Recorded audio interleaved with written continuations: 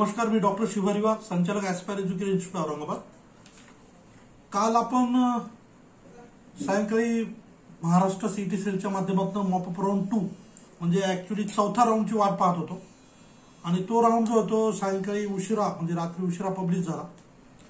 त्यानंतर आता ज्या मुलांना ऍडमिशन मिळाले त्यांनी काय करायचंय? ज्यांना नाही मिळाले त्यांच्यासाठी काय ऑप्शन्स आहेत? हे सगळं आपण या व्हिडिओच्या माध्यमातून चर्चा करणार आहे.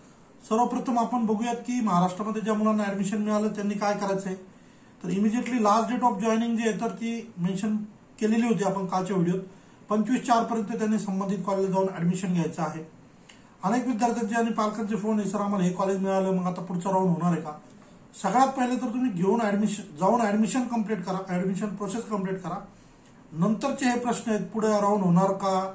अपग्रेड होणार का? नवीन काही ऑप्शन उपलब्ध होईल का? हे सगळे नंतरचे विषय सर्वप्रथम ज्या मुलांना ऍडमिशन मिळालंय आणि ज्यांचं ठरलंय की आपल्याला प्रवेश घ्यायचाच होता यावर्षी त्या मुलांनी पंचवीस चारच्या अगोदर जाऊन ऍडमिशन घ्यायचंय. ही जरी पंचवीस चारची तारीख दिली असेल तर एवढं लेट करायचं काही कारण नाही. तुम्ही उद्या वगैरे जाऊन सुद्धा ऍडमिशन घेऊ शकता. म्हणजे संडेला सुद्धा ऑफिस कॉलेजचं चालू असणार आहे. त्यानंतर दुसरा महत्त्वाचा विषय याच्यामध्ये होता प्रामुख्यानं कॉलेजमध्ये सगळे ओरिजिनल पेपर सबमिट करायची जबाबदारी जी आहे ती विद्यार्थ्याची असणार. आहे आवश्यक फीस भरण्याची जबाबदारी विद्यार्थ्यांची असणार. आहे आता या फीच्या संदर्भानं बरेचसे प्रॉब्लेम मुलांचे आहेत विचारणं आहेत विद्यार्थ्यांची पालकांची की अनेक प्रायव्हेट कॉलेज जे आहेत तर पूर्ण फीसची डिमांड करतायत कॅटेगरीच्या विद्यार्थ्यांना. आता हे असं का करतायत? तर याच्याबद्दल पर्टिक्युलरली असं काही हे नाहीये म्हणजे सांगू नाही शकत. परंतु जर आपण कॅटेगरीचे विद्यार्थी असाल आपल्याकडं पूर्ण फीज भरण्याची तरतूद नसेल तर त्या केसमध्ये तुम्ही कॉलेजला विनंती करा. त्यांना सांगा की सर तुम्ही बेसिक अमाऊंटचा डीडी घ्या. आमच्या कॅटेगरीला जो लागतो तो. त्यांनी जर ऐकलं तुमच्या रिक्वेस्टला त्यांनी जर सकारात्मक प्रतिसाद दिला तर त्याप्रमाणे पूर्तता करून तुम्ही ऍडमिशन घ्या.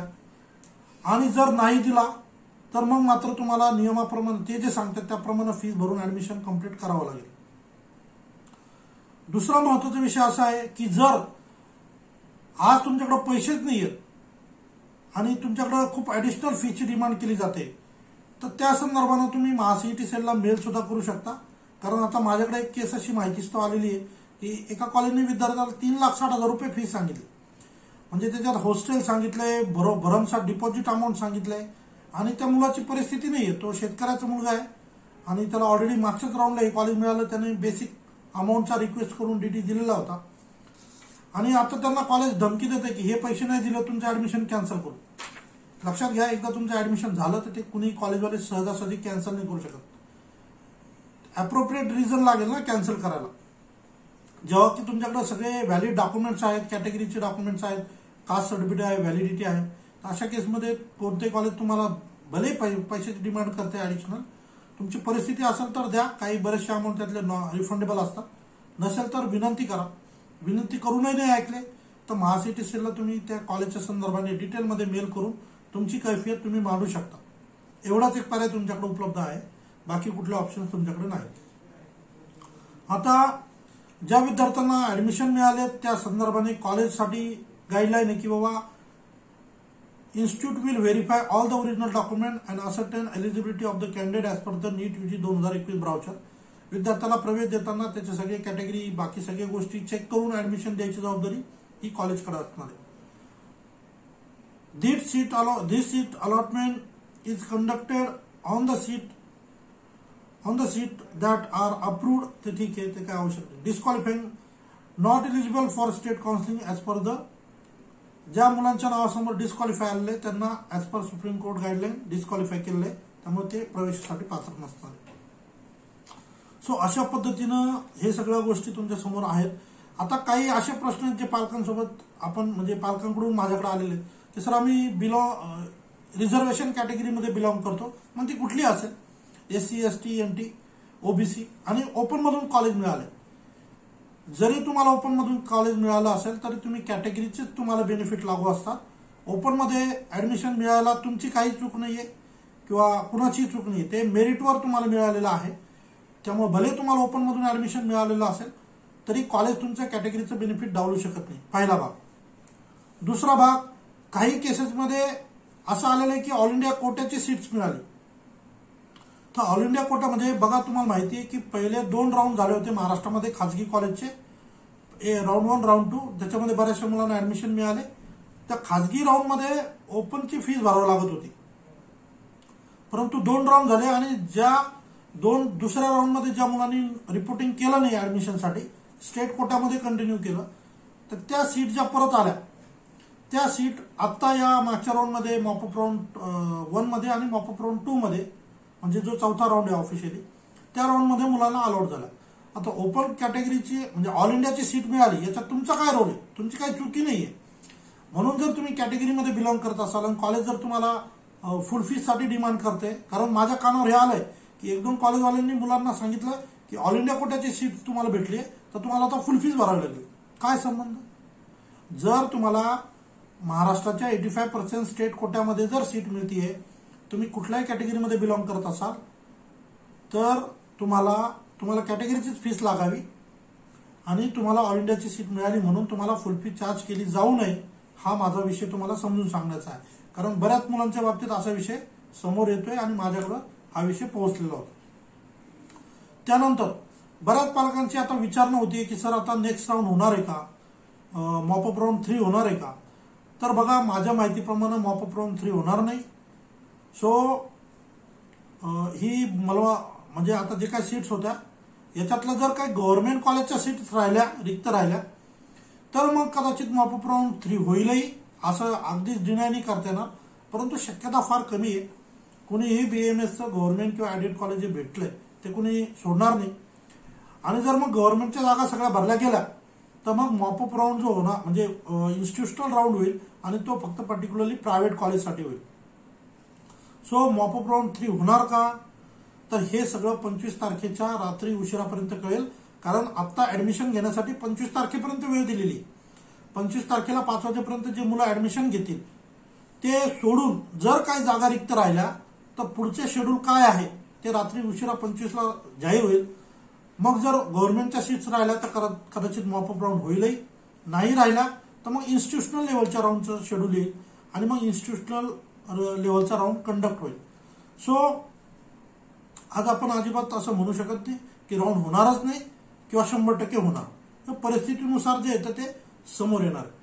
बरं त्यानंतरचा एक प्रश्न होता पालकांचा सर इन्स्टिट्युशनल लेवलच्या राऊंडमध्ये आता काय करता येईल?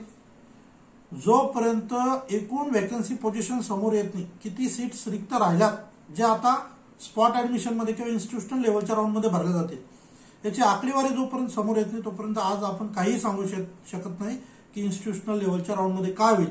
कारण अशी अनेक मुलं आहे आता माझ्याकडे एक केस अशी आहे. तीनशे एक्केचाळीस ईडब्ल्यू एस कॅटेगरीचा शेवटचा मुलगा लागलाय. ज्याचा रँक मी माझ्याकडे मेन्शन केलेला होता. आणि त्याच स्कोअरवरचा तीनशे एक्केचाळीसच मार्क आहे. फक्त रँक थोडासा त्याचा नंतरचा होता. त्या मुलाला ऍडमिशन नाही मिळालं. म्हणजे पर्टिक्युलरली आपण ईडब्ल्यू एस कॅटेगरीबद्दल बोलायचं झालं तर तीनशे एक्केचाळीसचाच लागला. परंतु तीनशे एक्केचाळीसचाच लागला नाही त्याचा रँक नंतरचा होता. म्हणजे एकाच स्कोअर सेम असून सुद्धा ऍडमिशन न मिळालेलीची परिस्थिती यावर्षी आहे. कट ऑफ बऱ्यापैकी वाढलेला आहे. परंतु जर या राऊंडमध्ये आपण जसं पाहिलं अकराशे समथिंग सीट्स होत्या. जर याच्यातल्या बऱ्यापैकी सीट्स रिक्त राहिल्या तर मॉपअप थ्री होऊ पण शकतो. आणि मग अजून बाकी मुलांना पण संधी मिळेल ज्यांचा स्कोअर साधारण तीनशे पस्तीस वगैरेच्या आसपास होता त्यांना. तुर्तास ज्या मुलांना ऍडमिशन मिळाले त्यांनी ऍडमिशन घ्या. ज्या मुलांना ऍडमिशन नाही नाहीये पंचवीस तारखेपर्यंत वेट करा. ज्या मुलांना आता रिपीट करायचं नाहीये महाराष्ट्रामध्ये ऍडमिशन मिळण्याची संधी कमी आहे जसं समजा तीनशे पंधरा तीनशे वीस मार्क्स आहे. मिळणारच नाहीये. मग अशा केसमध्ये तुम्हाला कर्नाटकमध्ये ऍडमिशन भेटू शकतं. ज्यांना घ्यायचं असेल त्यांनी आमच्याशी संपर्क करा. आम्ही तुम्हाला कर्नाटकला ऍडमिशन करून देऊ. काही मुलांचं बजेटच नाहीये कर्नाटकला कारण बऱ्यापैकी फीस लागते. कारण डोनेशन प्लस फीसमध्ये ऍडमिशन होतं. डोनेशन द्यायचीच तयारी नाही आहे त्यांना आम्ही एम पीमध्ये करून देऊ शकतो परंतु एम पीमध्ये पण आता सीएलसी राऊंड आहे सव्वीस आणि सत्तावीसला जे पण काही व्हायचं असेल एम पीमध्ये ते अठ्ठावीस तारखेनंतरच कळेल. म्हणजे नव्यानं रजिस्ट्रेशन ओपन झाले सीट रिक्त राहिल्या तर तिकडं होईल. म्हणजे हे जर तर आहे सध्या. आता अनिश्चितता आहे. हा ज्या मुलांनी ऑलरेडी एम पीमध्ये रजिस्ट्रेशन केलेलं होतं पण चॉईस फिलिंग केली नाही किंवा कॉलेज घेऊन ठेवलेलं नाही त्या मुलांना मात्र आम्ही निश्चितपणे एममध्ये विदाऊट डोनेशन ऍडमिशन करून देऊ शकतो.